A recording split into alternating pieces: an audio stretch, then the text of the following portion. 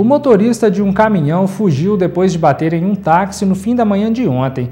O acidente aconteceu na esquina entre as ruas José Augusto Ribeiro do Vale e Agenor Alves de Araújo, a poucos metros da Escola Municipal Coronel Antônio Costa Monteiro. Segundo o taxista, que não quis gravar entrevista, o caminhão de uma empresa de transportes não respeitou a sinalização de parada obrigatória e atingiu o carro. Além do taxista, uma passageira estava no veículo. Ela foi levada ao pronto-socorro de Guaxupé, mas não foram divulgadas informações sobre seu estado de saúde.